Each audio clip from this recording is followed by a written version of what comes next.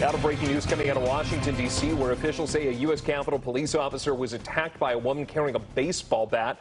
Police say when they approached that woman, she became agitated and raised the bat.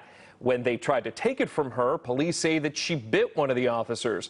Police identify the woman as a 24 year old named Olivia Romero. We're told charges are now pending.